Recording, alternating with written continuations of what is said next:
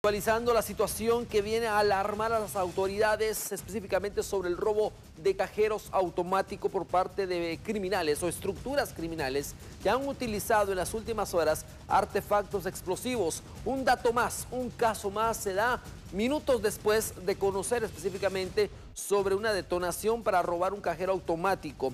Ahora vemos otro caso y este es un cajero automático que se ubica en el sector 1 de Prados de Villahermosa, San Miguel Petapa se está estableciendo si el cajero fue saqueado, específicamente en las últimas horas en San José Villanueva. Utilizaron un explosivo. Acá específicamente utilizaron herramienta específica para poderlo abrir, no ser detectados por la alarma.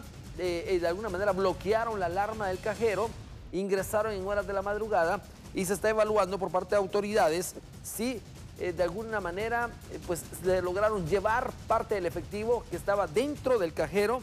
Hay que recordar que este sería el segundo caso en las últimas horas. El primero de ellos se originó en San José Villanueva, donde utilizaron un artefacto explosivo, similar al que utilizaron hace un mes. Usted recordará esto en un centro comercial ubicado en unas residencias privadas.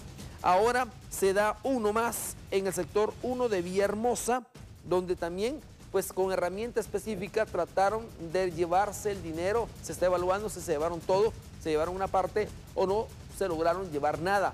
Esto está en desarrollo en este momento por parte de autoridades de la Policía Nacional Civil. También se está ubicando específicamente cámaras de seguridad que lograron identificar el momento exacto de estos delincuentes. Estructuras, escuche bien, que utilizaron en Villanueva específicamente en San José Villanueva, un artefacto explosivo. Luego en el sector 1 de Prado de Villahermosa utilizaron herramientas específicas. Segundo caso de cajero automático saqueado en las últimas horas.